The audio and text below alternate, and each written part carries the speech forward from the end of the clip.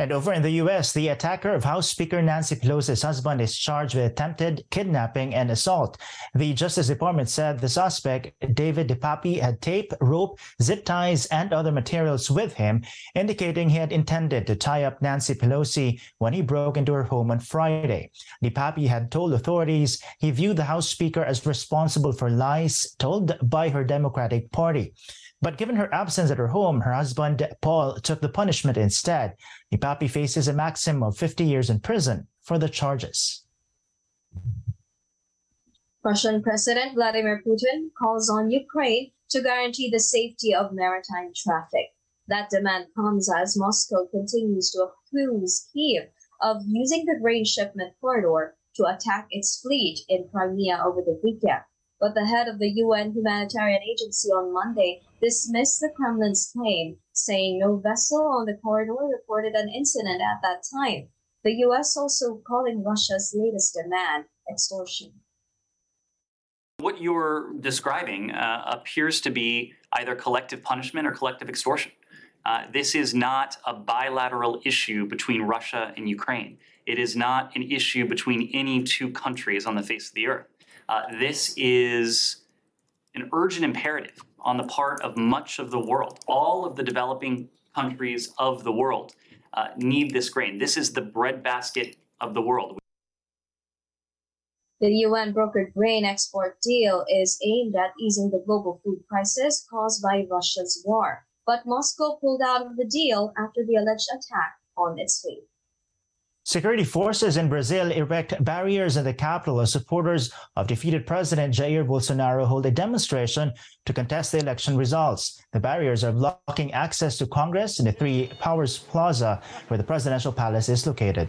Bolsonaro supporters have blocked highways in at least 11 states across the country, burning tires and parking vehicles in the middle of the road.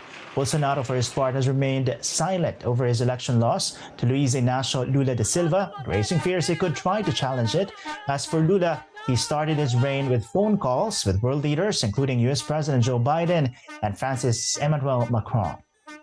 Electricity has been restored in several areas battered by severe tropical storm Paeng. But as Alvin Elchico tells us, supply of water remains a problem for others. From over 4 million customers affected during the height of Typhoon Paeng last Saturday, Power Utility Meralco says there are only more than 50,000 customers without power by Monday. These include residents in Cavite and Laguna. One of them is the family of Marilyn Fidel who is busy cleaning the house devastated by floodwaters. Yung sa gabi po pag matutulog, napakainit. Buti po kung umuulan, okay lang sana. Kaso ano, yung pag-charge din, pag nalobat ka, wala na. Tapos yung pag yung sa ilaw, pag madilim, minsan delikado din yung mga kandila. Meralco linemen deployed in the area fixed the busted pole just along the highway, but the utility spokesman appealed for patience. Tuloy-tuloy naman po yung pagtatrabaho namin. Sabi ko nga, walang pay, walang puknat hindi kami hihinto hanggat hindi nababalik hanggang sa kahuli-hulihang customer na nawalan ng serbisyo ng kuryente. Residents in the area had a hard time cleaning their flood-affected homes due to low water pressure. Kung pwede yung nakikiusap po kami na ibalik sa dati yung lakas ng pressure ng tubig para naman kami makapaglinis ng ayos. But Maynilad explains there was an increase in water consumption in Cavite after the typhoon. Napansin po namin na lumaki yung demand doon sa aming networks. Napansin namin mga 15% yung itinaas nung paghugot doon sa aming mga reservoir. So ito yung nag-cause ng pagkakaroon ng low pressure.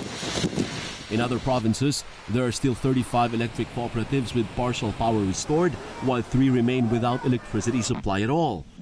Within siguro po itong this week, may energize na po lahat. Yung pagdating naman po dun sa total power interruptions, hindi namin masigurado kasi po sa NGCP po ang may problem po doon sa linya.